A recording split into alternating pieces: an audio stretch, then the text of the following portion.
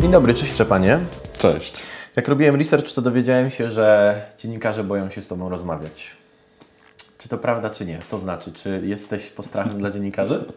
Nie, staram się nie być, y, ale może się boją, no nie mam pojęcia. Chociaż ja nie widzę powodu, dla którego ktokolwiek miałby się bać ze mną rozmawiać. A czy to nie jest tak, że, no tak, laureat paszportu polityki, e, nominowany do Nagrody Literackiej Nike, no to jednak, jak sobie tak pomyślałem i się zastanowiłem, no tak, muszę być świetnie przygotowany, e, mam przed sobą mega inteligentnego faceta, może mnie rozłożyć na łopatki, może po prostu nie, nieracjonalnie myśli i dlatego ja się nie bałem. Znaczy nie, no dlaczego ja miałbym kogoś rozkładać na, na łopatki? No przecież się tutaj nie spotkaliśmy się w sytuacji jakiejś konfrontacji, prawda? Czy to jest tak, że sukces e, książki e, zmienia wewnętrznie?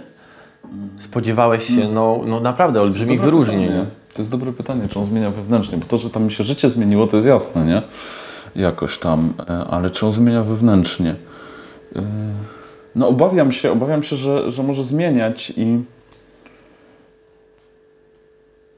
i niekoniecznie na dobre, więc wolałbym, wolałbym się wewnętrznie nie zmieniać od sukcesów. No tak jak y, no, poniosłem w życiu no, dziesiątki porażek i klęsk i wydaje mi się, że dałem radę im nie ulec, prawda? Że dałem radę się e, nie zmienić wewnętrznie pod wpływem klęski, no to jak, jakiegoś rodzaju porażką byłoby się zmienić wewnętrznie pod wpływem sukcesu chyba. Dlaczego nie na dobre się zmieniasz? Bo co psuje ten sukces? Znaczy, ja, ja cały czas y, wyrażam, patrząc w lustro, wyrażam nadzieję, że może jednak nie, prawda? Ale no jest, jest jakaś taka pokusa, prawda? Że człowiek ma, człowiek ma jakieś naturalne skłonności ku, y, ku pysze. Y, I, i, I kiedy świat zaczyna, zaczyna mu mówić miłe rzeczy, to, to, to, to łatwiej, łatwiej ulec temu, łatwiej wpaść w jakiś samozachwyt, a no to by było chyba niezdrowe i nieprzyjemne w ogóle dla, dla, dla otoczenia, prawda? Bo wiem, że e, jeżeli chodzi o bohaterów Twoich książek, Morfiny, Wieczny Grunwald, to tam nie znajdziemy e, odpowiedzi na pytania, jaki Ty jesteś, bo powiedziałeś, że e, tam nie ma Ciebie w tych książkach, w sensie... nie, to nie jest tak prosto. Znaczy tak to było super, gdyby, gdyby mógł tak powiedzieć. Jednak jest trochę Ciebie no, tam? nie, jest, jest, jest, niestety. Skąd zamiłowanie do y, brutalności? Ja mam taką dość prymitywną wrażliwość literacką, że mm, nie potrafię się posługiwać jakimś takim y, subtelnością. No, ja, ja muszę mówić bardzo głośno i bardzo wyraźnie, właśnie operując no, brutalnością, seksem i tak dalej, no bo to są moje, to są moje, to, to jest mój język wyrazu, prawda? Takie, taką mam jakąś y, wrażliwość, czy może nawet niewrażliwość literacką, y, dość prymitywną, no i nic na to nie poradzę. Jak czytałem tę książkę, to jest tu no, pomieszany język y, współczesny ze staropolskim, dobrze tak, mówię? Tak, tak. Ze staropolszczyzną z XIV wieku. No. Ciężko się to czytało. Nie było moim planem, żeby się czytało łatwo. W sensie, aha, nie było Twoim nie, planem. Nie, nie, nie, nie. Czy to jest, że im trudniej się czyta, to bardziej ambitnie, tak? Nie, nie, nie, na pewno nie. Ta książka mnie bardzo zmieniła. Wieczny Grunwald mnie zmienił. Bo to jest pierwsza taka ściśle niegatunkowa książka, jaką napisałem. Ja lubię takie słowo, ale może ono jest, może ono jest trochę... Ten, ale lubię słowo wysokoliteracka. To jest książka wysokoliteracka, prawda? To już nie jest literatura gatunkowa, jak, jak te wcześniejsze, które pisałem wcześniej. I ona zmieniła jakoś moją wrażliwość literacką. Ja się w pewnym sensie, pisząc Wieczny Grunwald, dopiero stałem się pisarzem. To, to jest ten moment, w którym znalazłem swój własny język, y, swój własny jakiś taki literacki modus operandi. To jest, to, jak napisałem Wieczny Grunwald, to zrozumiałem, że tak chcę pisać dalej, nie? I w tym sensie Morfina jest jakoś, jakoś wynika z Wiecznego Grunwaldu. Jest oczywiście zupełnie inną powieścią, bo jest y, formalnie dużo bardziej tradycyjna niż Wieczny Grunwald, jest prostsza, jest napisana jakimś bardziej, bardziej przychylnym ku, ku czytelnikowi y, językiem, ale, y, ale tak, ale Wieczny Grunwald był dla mnie książką w tym sensie jakoś, no, jeśli można powiedzieć taką własnej książce, to formacyjną. Nie? Wracając do morfiny, jak być mężczyzną? Nie wiem. Dlaczego mężczyzną? I łatwiej jest być mężczyzną czy kobietą? Te zdania są podzielone, ale wydaje mi się, że żyjemy, żyjemy w czasach takich, które mm, są w jakiś sposób kobietom przychylniejsze. No właśnie, dlaczego? Znaczy, wydaje mi się, że po prostu kobiety się teraz lepiej udają niż mężczyźni. Powiedziałeś to dokładnie takie zdanie w wywiadzie. Kobiety się lepiej udają niż mężczyźni. A mężczyźni się kiepsko udają teraz, tak Dlaczego? mi się wydaje. Ja nie wiem dlaczego, bo ja co prawda studiowałem socjologię, ale nic mi z tego nie zostało, więc a to nie jest pytanie do mnie, bo ja się nie znam na społeczeństwie. Ja się znam tylko na pisaniu i to trochę. Ale, yy, to jest takie moje życiowe doświadczenie, prawda, że spotykam bardzo wiele, y,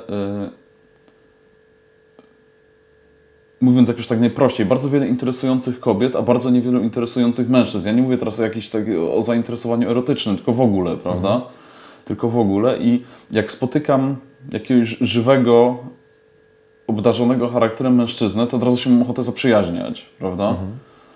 A kobiet takich spotykam wiele, także to wydaje mi się, że jest jakaś taka straszna dy dysproporcja tutaj i, i, w tym sensie jakoś strasznie też kobietom współczuję z tego powodu, bo yy, no, no, no, no ileż razy widzimy, że, że, takie fajne dziewczyny trafiają no, na, na, na, na, tak potwornych mężczyzn w życiu, prawda?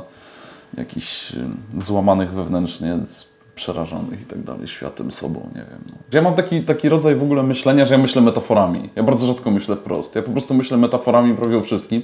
Y, no i widzę, że ludzie są żywi albo są martwi i dla mnie wielką ambicją w ogóle w życiu jest to, żeby, żeby nie umrzeć w środku, żeby pozostać żywym. Jesteś to, żywy? No tak, tak uważam ciągle, prawda, ale ale Boże, nie wiem, czy, czy, ludzie są w stanie to w sobie zobaczyć, jakąś tą wewnętrzną śmierć. Niektórzy są, to są ci najsmutniejsi. To są ci, którzy już są martwi i do tego jeszcze wiedzą, że są martwi, prawda, w środku.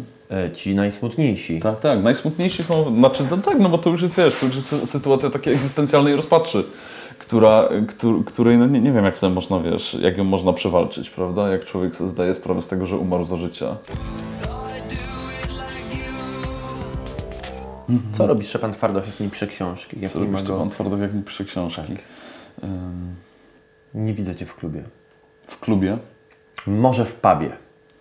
E, wiesz co, byłem ostatnio w klubie z takim, z takim moim dobrym kolegą, który mnie zabrał, taki, na które się poszwędałem po takich warszawskich klubach. Jezu, chcę wiedzieć, przepraszam, w jakich warszawskich klubach byłeś? Nie pamiętam, byłem bardzo pijany. Ten okropny rytuał godowy na, na parkiecie, wiesz, te podrygujące dziewczęta, które czekają na swojego, wiesz, na swojego samczyka, w końcu podchodzi jakiś samczyk, zaczyna tak obok nich przystawiać, wiesz, czekając na jakiś życzliwy uśmiech po prostu i dostaje ten życzliwy uśmiech i wtedy kto go zachęca albo nie dostaje tego odstrasza, no coś, coś okropnego, nie, to jest... Nie, to, to, się, to się już, mam nadzieję, nie powtórzy szybko. Natomiast, y, wiesz co, ja uwielbiam knajpy.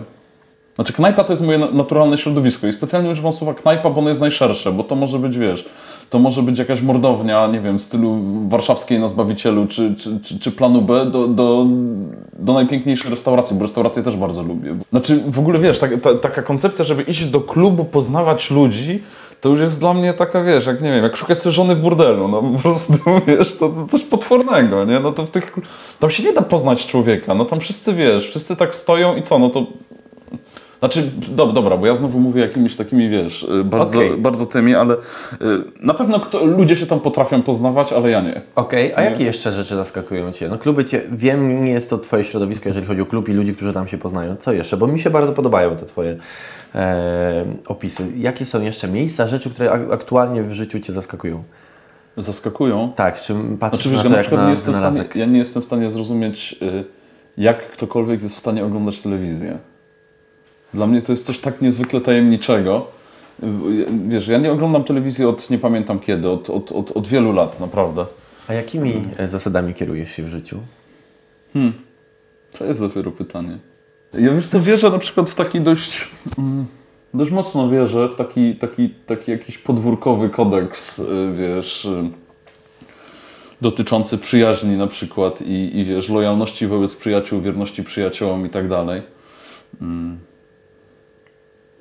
Ktoś mi niedawno powiedział coś, co mi się strasznie spodobało, ale to chyba nie są zasady, ale strasznie mi się spodobało, czekaj, jak to było, że um, nie wiem, czy ja to, wiesz, nie wiem, czy to jest moja, czy to jest jakaś moja maksyma, ale spodobało mi się, że um, za dobro odpowiadam dobrem po trzykroć, za zło odpowiadam złem po sześciokroć.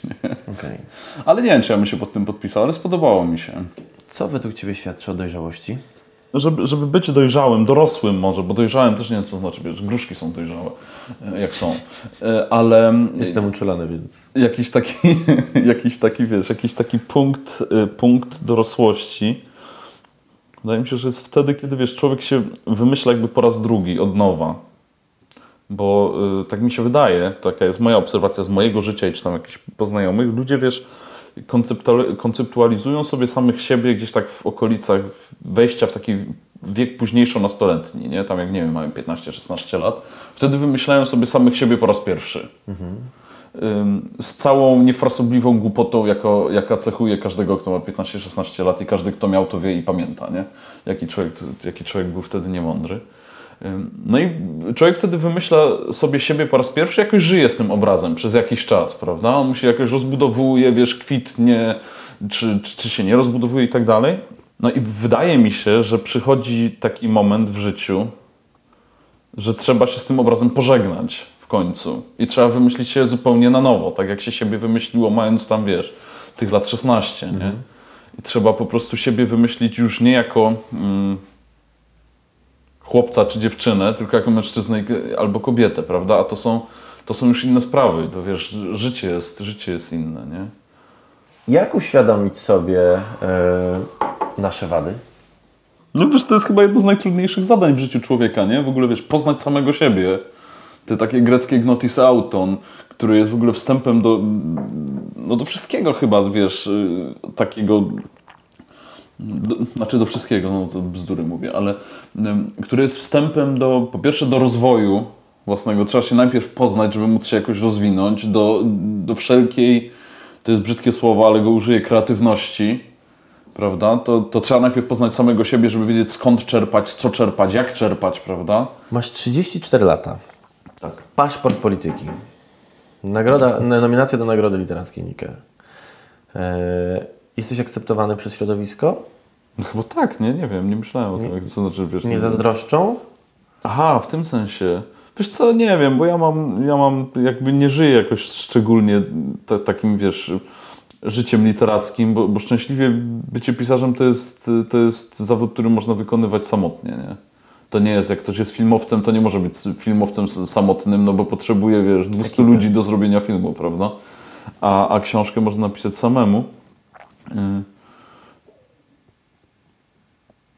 Wiesz, mam dobrych przyjaciół, pisarzy i na ich przyjaźni mi zależy.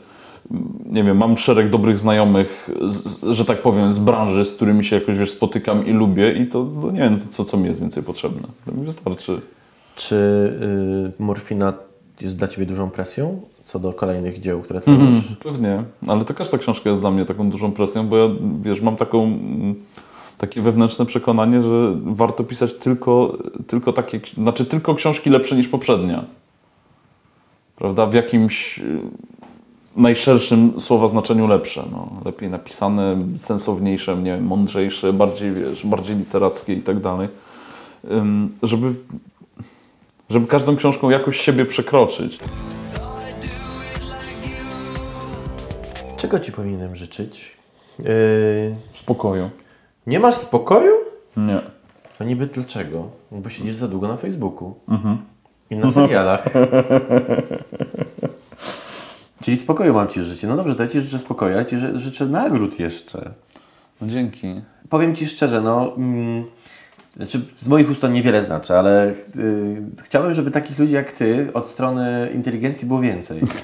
Bo Dziękuję bardzo. naprawdę oglądałem wiele są wywiadów. Nie sądzę, żeby mi się nie udało się wyciągnąć z Ciebie e, rzeczy, które zaskoczą, ale mm, no jakby ja... Nie no co ty, cały czas mnie zaskakiwałeś tymi pytaniami. Naprawdę. To, że zaskakiwałem, to nie znaczy, że udało mi się wyciągnąć. No, Dziękuję, a Dziękuję teraz Cię bardzo. przepytam prywatnie.